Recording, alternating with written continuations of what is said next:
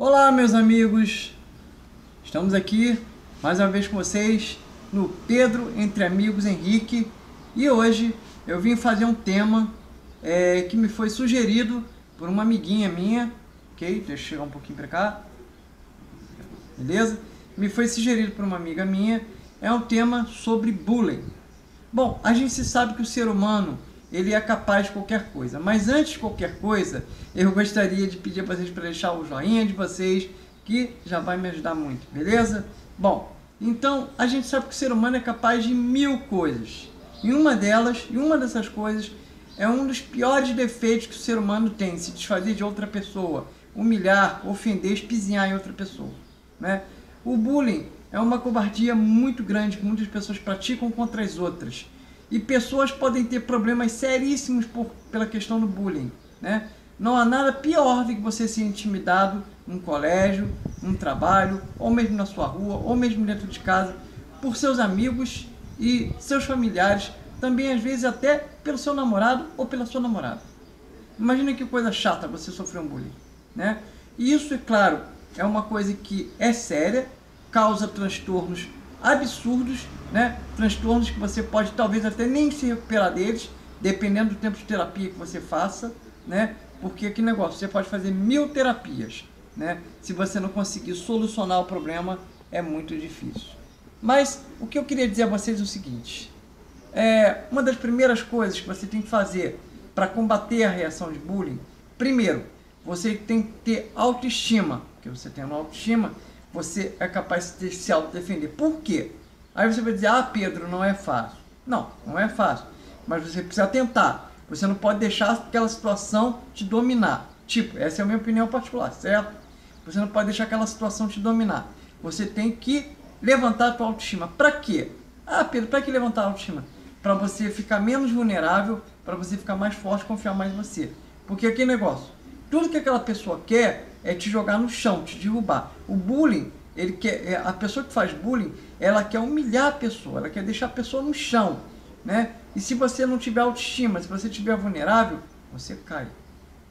Automaticamente cai. É igual a depressão. Então o que, que acontece? O que eu sugiro a vocês, é, primeira coisa, é autoestima. Para quê? Para você poder se autodefender. Porque se você não tiver autoestima, você não vai se defender e o que, que vai acontecer? O que, que vai acontecer? Você vai ficar sem defesa. E sem defesa, o que vai acontecer? As coisas vão acontecer. Quer dizer, os bullying vão acontecer. Então, eu sugiro o seguinte, que você faça isso. Porque você fazendo isso, isso vai te ajudar muito. A gente, a gente tem que, as pessoas têm que lutar contra o problema. As pessoas têm que tentar lutar, as pessoas têm que tentar ir de contra os problemas. Não adianta você fugir dos problemas e deixar com que eles aconteçam aconteçam e te dominem. Os problemas existem, beleza, eles existem, mas você precisa evitar que eles te dominem. A mesma coisa é bullying. Imagine, eu sei de pessoas que já sofreram bullying. Gente, é uma coisa absurda, sabe? As pessoas que sofrem bullying, no geral, elas são pessoas é, muito sensíveis. Elas são pessoas que têm uma sensibilidade muito grande que acabam se deixando abater pelo bullying. Entendeu? Porque o bullying é uma coisa que humilha, uma coisa que machuca, é uma coisa que oprime e é uma coisa que principalmente causa transtornos psicológicos.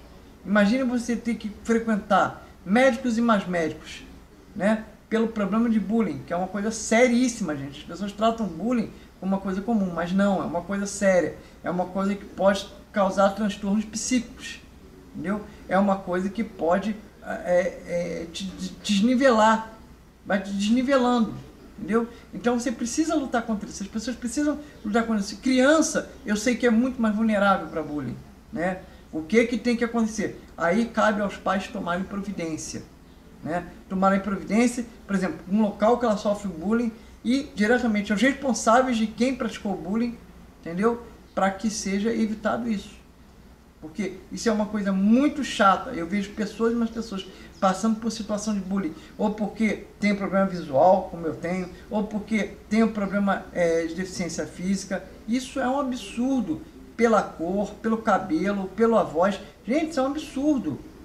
Bullying é uma coisa estúpida, é uma coisa é, é, é totalmente desnecessária, sabe? E, e é uma coisa maldosa. Então, eu acho que isso é uma coisa que tem que ser realmente encarado como um problema sério, porque ele é um problema sério. Então, primeiro, gente, levanta a autoestima de vocês. Porque levantando, enfrentando de frente o problema, você vai. É, não vou dizer que você não vai se sentir menos humilhado por conta disso. Não. Mas pelo menos você vai ter ali forças para lutar para ir de frente contra aquela situação. Não é fugindo dela que vai adiantar, não é se amedrontando, não é se jogando no buraco, não é colocando a cabeça debaixo do buraco, como faz o avestruz. Não, isso não pode. Você tem que ir de encontro ao programa. Beleza?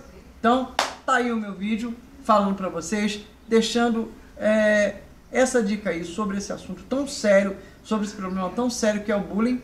Pode parecer que não, mas é um problema sério, é um problema que causa transtorno, todo mundo sabe disso, e foi o que eu já falei aqui.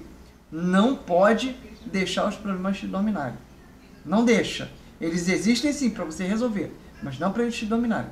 Beleza? Então, gente, muito obrigado. Se você gostou, deixe o seu joinha, acione o sininho, tá? Me siga aqui no meu canal, beleza? Me siga aqui, tá? E então, muito obrigado. Um beijo carinhoso para vocês. Amanhã tem indicação de canais, beleza? Amanhã estarei aqui com vocês. Amanhã, sexta, sábado e domingo, beleza? Muito obrigado e meu partiu. Ah, eu vou deixar na descrição. Hoje eu vou deixar na descrição o canal da minha amiguinha Alana, tá bom? É isso aí. Vamos lá, gente.